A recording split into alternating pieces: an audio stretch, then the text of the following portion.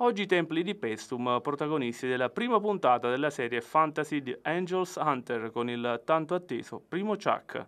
L'antica Poseidonia è stata scelta dal salernitano Giuseppe Motta come teatro del set di uno scenario futuristico, quale culla del mito che sopravvive al tempo. Oltre a Capaccio Pestum si girerà anche ad Agropoli a Londra. The Angels Hunter sarà presentato alle più prestigiose case di distribuzione mondiali di serie TV. La scelta di Pessum casuale o per le origini?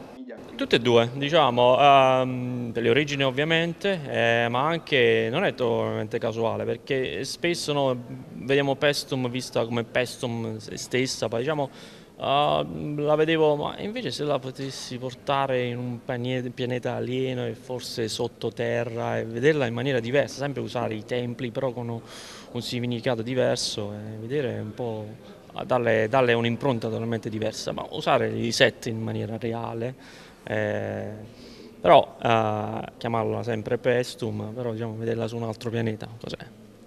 Un po' come hanno fatto le piramidi in altri film di fantascienza, diciamo che erano elementi alieni, eh, diciamo Pestum diciamo, si stava in un pianeta alieno.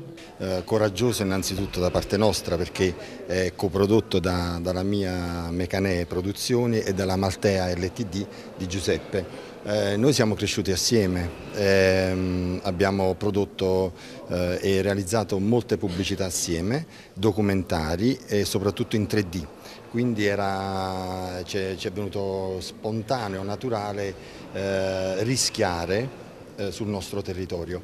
Eh, rischiare tra virgolette perché il nostro territorio è davvero meraviglioso, mm, il parco archeologico è unico, è tenuto benissimo e, e infatti vanno, fanno a gara le produzioni per girarci.